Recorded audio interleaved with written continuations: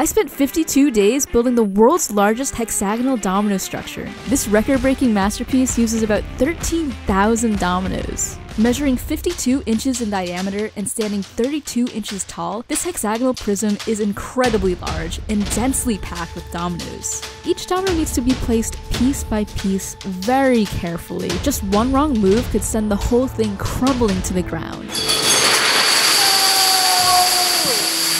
The risk involved in making a structure like this is astronomical, but I was up for the challenge. So to start, I just needed a plan. I wanted to make the structure as visually appealing as possible, so each face has a different color and uses concentric hexagons and squares to make a really neat pattern. I'll be building the structure in my living room, which used to be a proper living room, but we actually moved out all of the furniture, so it's completely empty and converted it into my new Domino studio. And after cleaning the floor, I was ready to start building.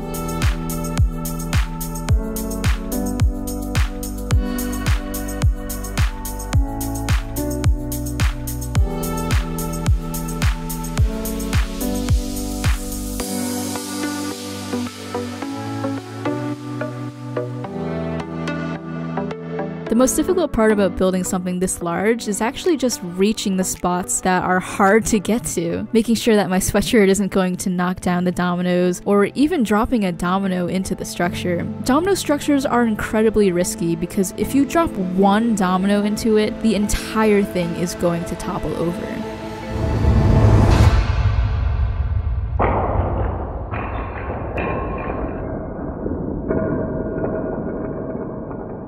Wow, my AirPod actually fell out. Luckily not on the structure.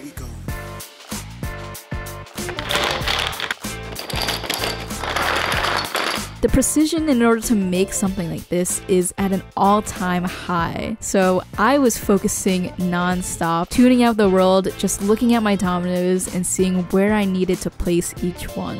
The thing that kept me going was knowing that I had a full plan laid out. Seeing the end result before I even build it was super motivating to stay focused and keep building no matter what. Okay, I was just placing a domino and out of the corner of my eye, I see something move in the structure. Turns out there's a fly in it. Get that fly out of here. If this fly actually knocked down one of these dominoes, I would be so mad. So mad. But there was nothing I could do, so I just continued building and let this fly build with me.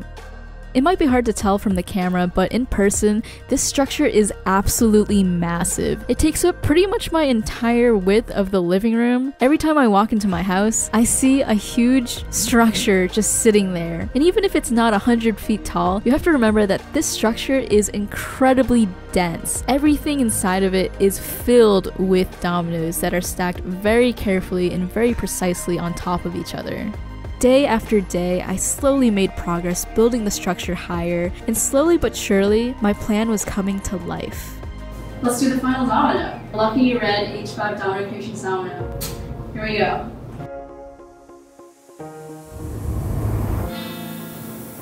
Hey, there we go! 13,000 dominoes!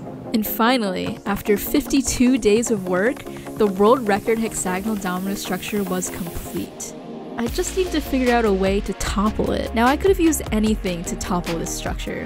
I needed some ideas, so I went onto Twitter and Instagram and asked you, what do you want me to topple this with? Big shout out to Julia Kathleen 695 who suggested that I use the inflatable rotisserie chicken from a previous video to knock down the structure. I laughed out loud when I read this response and I was like, we are absolutely doing this. So what if we had the chicken hanging above the structure on a pulley system, and then this pulley system gets released by hitting a target. That'll release the string, which drops the chicken into the structure.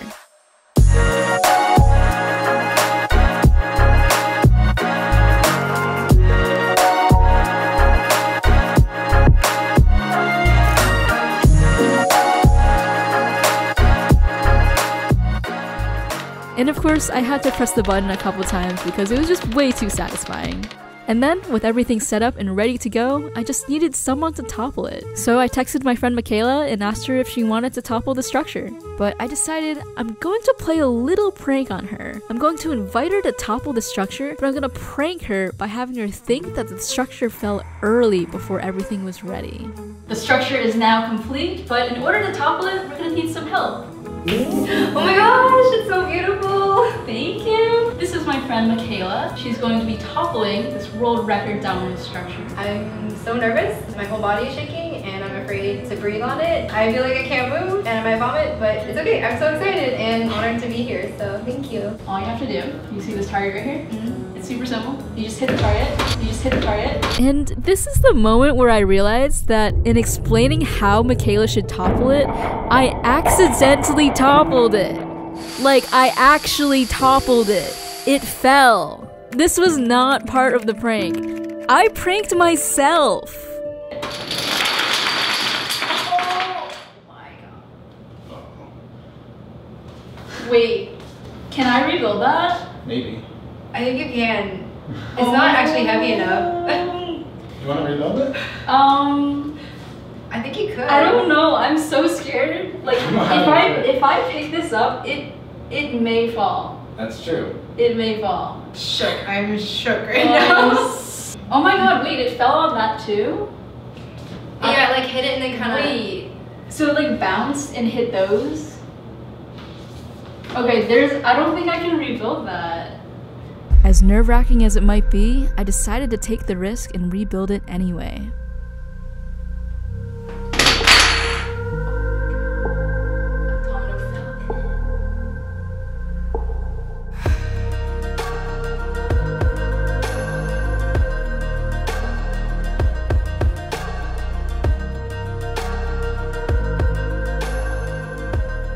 With all the pressure that came with building this structure, these next 10 minutes were the most stressful moments of my entire life. But luckily, I did it. It's complete again. Yay! And for added precaution, we added a little bit of extra weight to the chicken by putting some boba straws on the string, which would hopefully make it heavier and knock down the structure for sure. And because I toppled it by accident, my prank idea was kind of foiled, so I just let Makayla topple it normally. Alright, let's try this again. You ready, Makayla? Okay,